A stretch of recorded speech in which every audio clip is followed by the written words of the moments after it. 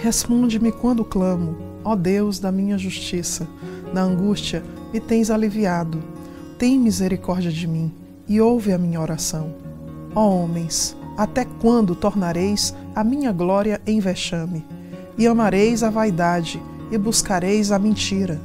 Sabei, porém, que o Senhor distingue para si o piedoso.